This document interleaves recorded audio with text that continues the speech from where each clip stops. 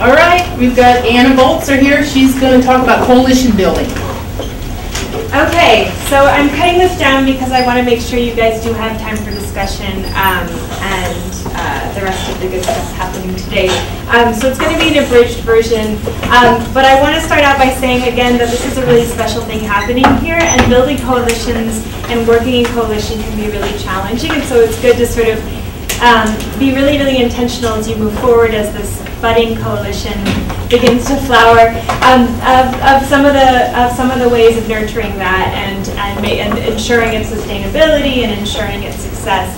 Um, so I'll say that, and I'll also say that there are lots of different kinds of coalitions, and so you know there's no one size fits all. So I'm just going to offer you some of the stuff that I've learned. I'm still a novice at coalition building. It's really challenging and really um, takes a lot of it's a learning curve.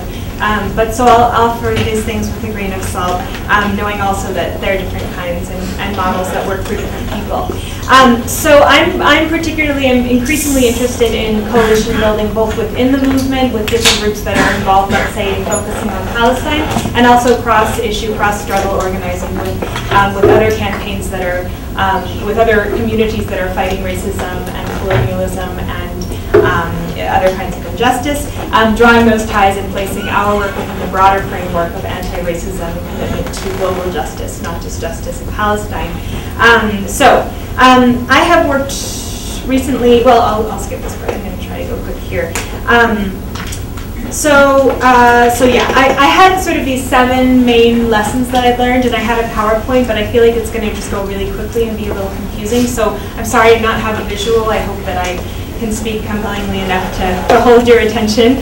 Um, but um, the top seven lessons that I've learned, I want to share. Um, the first one is inclusivity and having and getting people involved early on. I think a lot of times we have a really good idea and we want to make this campaign and then we want to get other people to join our campaign. And that's exactly what we're doing. We're trying to get other people to join our campaign. And that's not really necessarily particularly empowering, particularly appealing. This is particularly an issue in terms of Palestinian involvement. A lot of times, um, predominantly white groups will form a campaign, an idea, and not understand why Palestinians don't want to get more involved, not realizing that Palestinians should be central to, to all of our work, and that, that just in the way that we look to Palestinians in, in guidance for the in the BDS campaign, that that oftentimes I think we inadvertently might alienate and marginalize and cert- and not um, include as much as we would like to Palestinian involvement. And one of the ways of, of ensuring that is to make sure that that involvement is, is early on and not sort of a tag on at the end, because um, in, a, in a way that, that can be uh, tokenistic. Um, let's see where the papers where they end up. Big stack. Um, I actually have a From Jan? there, there, are they there? They're not there, are they? No. I don't know where they are. They're pretty big stack. It's not that one on this office. It's not Oh, the it might one be there. behind the desk here on that. Oh, that's probably where they are. Thank you. Okay. Thank you. Okay, so, um, so, you know what I might do is I might actually, I might pass this around later, but there's a really, um, this is a, this is taken out of a, and I can't remember the name of it. Do you remember the name? This is the name of the attachment. Um, but it's, it's taken out of a, um, a pamphlet on, um, cross-struggle organizing, and it's basically, you, you, it's, it has these different categories of different kinds of organizations. The all-white club, the token or affirmative action organization, the multicultural organization, and the anti-racist organization. And it's kind of an interesting process to go through and sort of categorize decision-making, budget, money, accountability, culture, programs, to go through and see where your organization fits. You might find, for example, that decision-making seems to, there seem to be, you know, um, centers of power within your organization. Are they, you know, are they Palestinian, Palestinian, are they not? Who makes bigger decisions? Who decides programmatic stuff? Anyway, I can say, you know, from the perspective of the U.S. campaign, we're going through a process of, um, of internal education, anti-racism training. I'm going through that on a local level as well. It's nothing to be ashamed of. And learning, seeing where maybe at different points we could do things more intentionally. Um, and this is, anyway, so this is to bring this back, um, if we're talking about coalition building with, with other struggles, I think a lot of times we talk about it and we really, really want to make those connections and we really, really want more people of color in our organization. We really want, um, you know, I, I don't know, we want, we want to, to bring all these things together, but But um, sometimes one of the things that's missing, and I can tell you this from personal experience, is reciprocity. There's this idea that we want people to come to our events or to come to our meetings and to care more about what we're doing. And sometimes we forget to reciprocate that in a really meaningful way, not in a tokenizing way, but to actually go uh, to those events, invest in those meetings, and show the, that, that, that we do see this within this broader context. So anyway, just a, just a few points on that. This is not doing it justice. Um, I'm going to anti-racism trainings all the time, and believe me, I'm just a novice. But um, those are some of the some of the uh, concepts that I'm that I'm learning more about. Um, okay, so um, uh, within the context of inclusivity, empowerment and inclusivity is more important than perfection. This is something that I can I have a hard time with. Sometimes we have a media opportunity in our local group, and we really want to get the best media person in front of them because it seems like a great opportunity. And lo and behold, every single time it's the same people talking. Every single time it's the same people representing our organization.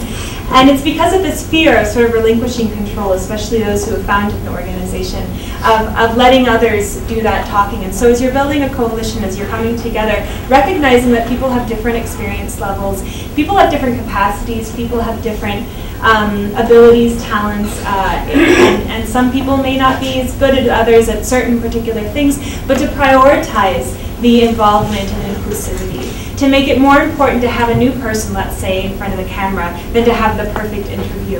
That it's an investment in, in the future of the coalition and people's buy-ins, for people to feel ownership, for people to feel that they're a part of it. So this is something I have a hard time with because I want everything to be done super, super well, and sometimes I have a hard time relinquishing control to people who are less experienced, and I challenge myself, and I encourage you to as well.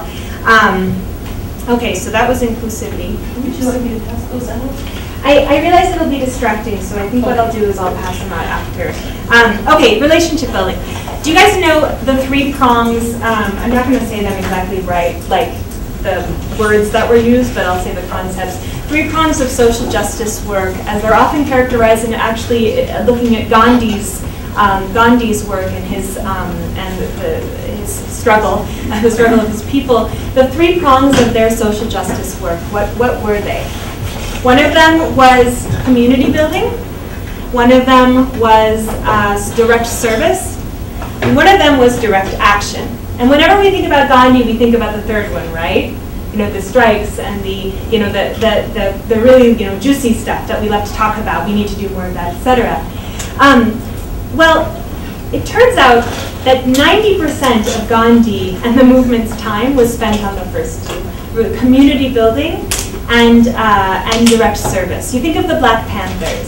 A lot of time was spent, you know, milk programs, uh, after school programs, etc., building the community, building trust. And oftentimes we in the social justice movements, we really like to focus on the last one. We want to put 90% of our, of our, of our um, energy into that one. I do this. I really want to do a flash mob and a campaign and this and that. And we forget that actually to have, especially to work in coalition, is a lot of investment in each other, in relationships, in checking in, one-on-one -on -one conversations, going out to coffee, seeing where people are at, seeing what people need to feel like this coalition represents them, and to slow down a bit. And again, this is something I'm struggling with, but it, it works wonders for coalitions, so to not forget that, to, to, to let it be okay if a large part of the meeting is socializing. We have a lot of social events in our local group because it builds community, and once you've built community and relationships, and trust with each other, and you're not at each other's throats and you're not arguing over this and that thing, but you actually have something solid that it's built on, that's where the direct action flows from. You have the trust, you have the community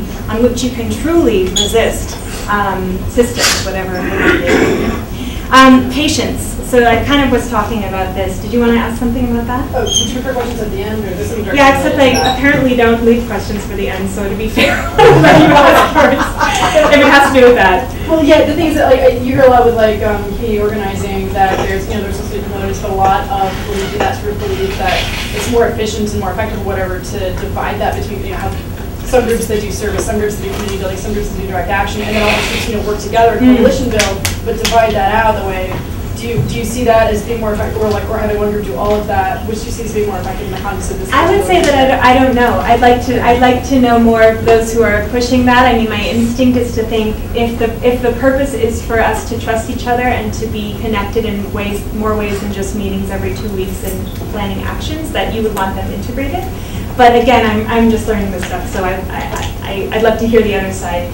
um, I also want to you know, view about coalition building because there are two coalition buildings. I was working with a health organization who always wanted to do coalition building with other health. Mm. So they end up just ending up with the people who already knew about the subject. They never went anywhere else to build coalition that they didn't know. And I'm afraid, you know, we need to distinguish. If you need people to know about Palestine, you should not go to the events of these people in this room.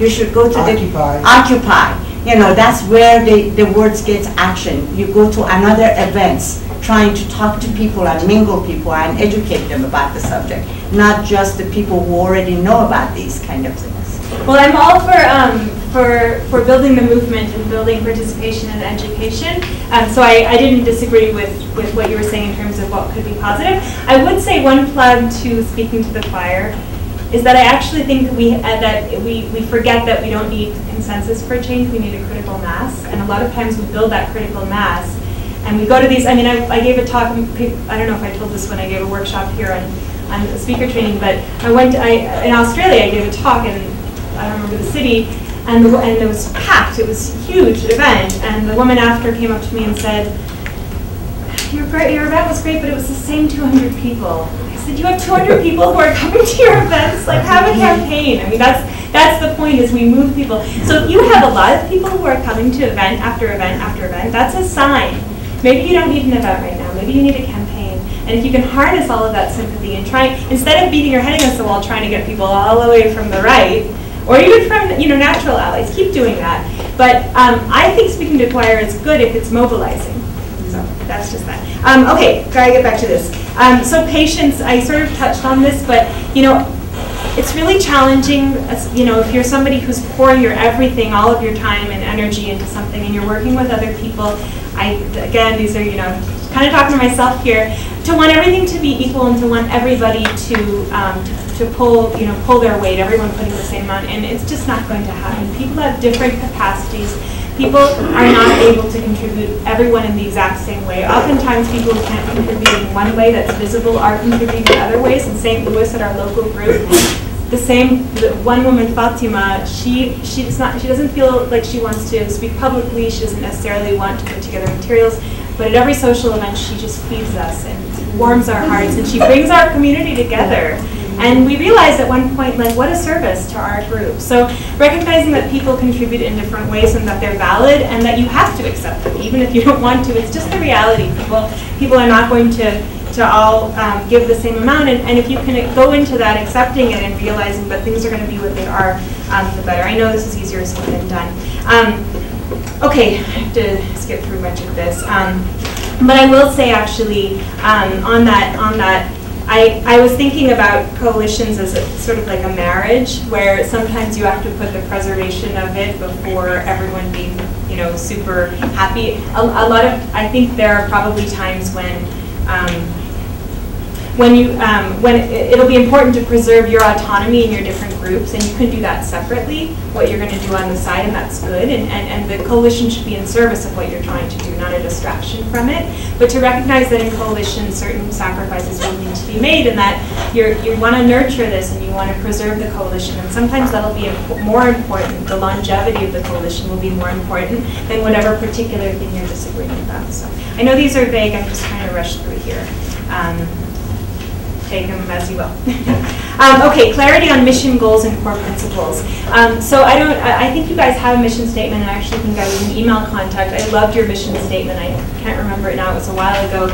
I had encouraged you to actually um, add a line. Oh, wonderful! It's on the back of the. Terrific. You don't have to read through it. It'll, it'll be a, uh, maybe a distraction. But what I want to say is, is having a mission statement is really, really important. Coming to it together, having that be a, a, a basis of reference. And one of the things that, that I really encourage having as part of a mission statement, I'm not sure if it's in yet, is, is stating very clearly the way that this work fits in with a larger commitment to um, anti-racism and to global justice. Um, and that the coalition stands firmly against all forms of racism and bigotry, etc. And that's actually a nice reference point. It's a reference point for you internally to look back to. It's a reference point for externally for the media to see, um, for others to see that um, it can be, it, it- it seems obvious, but it actually isn't. And also in terms of coalition building with other communities, for, for them to see that you're not so singly only focused on this, but that you really do care um, about things beyond Palestine. Uh, okay, that was the highlight to that. Um, I'll talk about goals later. Um, talked about anti-racism, anti-oppression. Um, Okay, there's, there's more, but I'm going to, um, I'm gonna, well, I'm gonna say two more things. Um, one was about internal communication. Um, and we found it really helpful in our, in our coalition building, sort of regular representation, consistency um, of people who come to meetings, representatives of the different organizations being there. Um, and that can fluctuate, and that's okay, But it's natural. But generally speaking, to have kind of continuity is, it, it does help the sustainability of the, of the coalition. Internal dynamics, um, and by the way, there's a great resource, I might even send it to the group, I can't remember, um, on coalition building that I found super helpful. Um, I can send it again to whoever signs up on the, um, on the list. Um, openness to self-evaluation, self-reflection, looking at the way the coalition is, is moving forward, and uh, dealing openly with conflict, different cultures of the organization. There may be different, I mean, in our, I can say, for example, in, in our, in the na- nationwide coalition, there are groups who, you know, when I work with the Presbyterian Church of the United States for divestment, there's a very different culture there from when I'm working with Occupy, um, or when I'm working with the, uh, you know, uh, uh, International Jewish Anti-Zionist Network. There are, you know, different cultures and, and being aware of them and respecting them. Um, anyway, some of this sounds obvious, I guess, as I say it out, um, out loud. Um, and then decision making. Um, do you have a clear model of decision making? Is it transparent to the outside world? Is it clear between you? Are you a consensus-based decision making model? Are you a majority one? Are you a consensus-based unless you really can't get to it, in which case you come to a vote? Um, is it about who's participating? Those who are actively working are the ones who get you know, who, who, who make these decisions? Do you have an executive committee to make rapid response things? These might be useful in, in your coalition building. Um, and ge- general transparency. And after that, I'm gonna, I'm gonna cut out the rest of it because I want to leave more time for discussion. Um, are there any questions just on this particular piece? I hope it wasn't too dry without the others. I Yeah. guess I would feel the best sanctions um, campaign would be um, more effective if there were debates, like Mm. between the disparate groups. I know, I'm tired of the touchy-feely. I'm tired of, all you know, all of this. We need to actually discuss and dialogue the merits of the things. And I think that's a different approach to bringing it into the public eye. Um, So, um, And reasonable civilized debates between, for example, the Christian Zionists, fundamentalists, premillennial dispensationalists, and the right-wing Jews and Israelis. And like, what are your principles? What, how can this Bible be transformed into something that's, you know, so convoluted and changed from what God intended it to be in the first place, if there is such a? You know, like, have just outright discussions and fundamentally change the way people might view things. So, um, actually, I'm glad you brought up debates. Maybe, uh, I didn't say it explicitly, but under cultural boycott, and I, I really appreciate Hamzi's, um, words about sort of the limitations of some of the dialogue projects that, that he'd been involved in. That was, oh, there you are. That was really insightful. Um, but debates are encouraged, actually. It's a public forum that shows that, that, where, where these, where the sides are being debated, that are debating, that's actually encouraged. It's only those that sort of mask things in terms of listening and, and um, dialogue. Um, so yeah, absolutely, more debates the better. I'm gonna see the floor. We can just go right into the discussion. Sure. while there. Sure, um, I don't, I didn't know I was facilitating. Oh, no, not necessarily, Um, you were just up there and. But yeah, no, I don't wanna be, I don't wanna be so prominent in the discussion. This is really your time. I'm happy to be a resource, but, Well, um, I do want to make a comment on something you said, and it was about how when coalitions are first forming, that sometimes people try to divide up things evenly. And that's what I first tried to do, like, we're gonna I'm gonna do this amount and this amount and this amount, and it, it doesn't work that way, and I accept that. I mean, I, I may have more time than a lot of people, some people have more time than I do, but every single person's little bit of time is important. Even if you, all you do is, not all you do, but you collect an email and you send it to, to have it subscribed, that's important. And who was it, I, I'm sorry, what is your name? Roya, Right, you were telling me how busy you are, but you really contribute. You don't realize by sending me the information, you know, about sending your petitions. information to others, yes. Yes, I'm- or just say, talking about the Colorado BDS campaign, or, that is important. Even if you take one minute, I mean, each little minute adds up, and it is important, and it isn't about an equal, I'm gonna spend this amount of time. And one more thing is, I remember our very first meeting, one of the people at the meeting said, well, I thought this was the way that it was supposed to be, this and that. And I didn't know what to say at the time, but we're just building. We're, we're trying to figure things out. We're gonna fail at some things, or we're gonna stumble at some things. We are all building it, mm-hmm. you know, and we're trying to figure it out. How does it work for Colorado? And, and so now I know the answer. We- Sometimes we're gonna fail, and sometimes we're gonna succeed, but we're gonna build it, so. Yeah, Planting seeds is important. That's And right. uh, I- one thing that you brought up that, that I struck me, so, um, so in St. Louis, we have a Veolia campaign going, and it's uh, against a a- a Veolia contract for not direct privatization of, but we think eventual privatization of our water in St. Louis, Missouri. Um, And so we've been working in coalition with a lot of environmental groups as well as workers um, and uh, communities of color, and everyone having their own different angle. And one of the things there, um, maybe is partially relevant to you, is that, you know, we know that Palestine is kind of toxic to, to certain groups, the environmental groups, for example. They're, they can't, the Sierra Club can't go out and say, we, you know, free Palestine, free Palestine. Um, But we have an agreement that we will never undermine each other. We will never get up and say, well, we don't believe in free Palestine, but we want this. We will stay on our message, and we accept that each other has limitations in their message, and we're stronger because that. We're stronger that there are these different groups that come from their different angles. It's an asset. It makes us so, we're an amoeba. The opposition doesn't know what to do. We're all over the place. We have different messages. We're different people. So, so that's an asset not something we need to insist on, and that includes within the community. If some people want to use certain messaging, as long as it's not undermining the rights of Palestinians, undermining the messaging of another. But if people, you know, if, if you in speaking to, you know, Christian Zionist audiences have different messaging than speaking to Occupy or whatever it might be, that's okay, as long as it's not, you know, undermining. That's important, except, but yes. Um, yeah, okay, I think, um, I think I, I want to let us move on. Yeah, Um, so, so So let me sit down. No, I'm not, I, we can just have open discussion for about 15 minutes, and I would just like to encourage the email list to keep flowing and. Yeah, where is it? It's going. It's Oh, very Oh, good, very good, thank you. I wanted to, I have a question, I have a question. How do you deal with, you have, I have these wonderful Jewish friends that they have been friends with years and years. And I don't know where they stand, we never talked about this issue before. I don't know where they stand as far as this issue. How do you, how do you present to them, uh, why you're standing where you're standing? You know, I mean, I understand how you deal on a public with the different organization, but how do you deal with your friends, you know? Um, I know that I have lost few of my Jewish friends that I've been, you know, they just stopped writing to me. So, but I do not know how to put this and deal with them at the same time, stand my ground. So I have a lot of thoughts about that, but I want to be conscious that the time here for you guys to be talking to each other about where you want to go from here is precious, and that's sort of more maybe of a direct Q and A with me. So, um, do you, uh, so, so I- I'm uh, respectfully not going to answer that right now in the public forum. Um, do you have maybe like an opener question for the discussion? Like, I, I don't have one.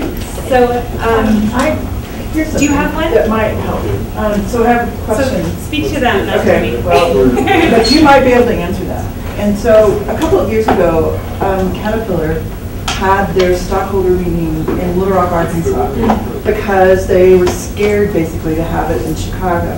So, um, because people knew to go there, so, or Peoria, um, but they would go to Chicago. So Jewish, Jewish Voice for Peace put a call out for people to speak, and they called me and asked me if I would go speak. They had stockholder certificates that I had in my name to be able to go speak. So that would be part of, so how do we do that? How do we communicate with each other? And like, I, I know that I'm part of para, because I'm a finished teacher. So if they, I mean, do you understand the question I'm asking? Uh, Are you asking the specific logistics of, of proxy shareholder Well, I think that stuff, or that you the mean just like group needs to have that discussion, that, yeah, that where can we get those sorts of tools so that we can do those sorts of things? Yeah, and that would be a, that would be a good topic of conversation. Hey Beth, this might be something you're central to, just in terms of how that communication could happen. And She was bringing up how kind of maybe that kind of coordination could happen. Is that right? Um, Because it's, Is if we all go get rid of our stock, then we don't have a ticket, we don't have the inside ticket. Right, shareholder activism is a time-honored, wonderful um, tactic for, for targeting corporations, and it does require, I mean, there's national coordination, you know, I think Right.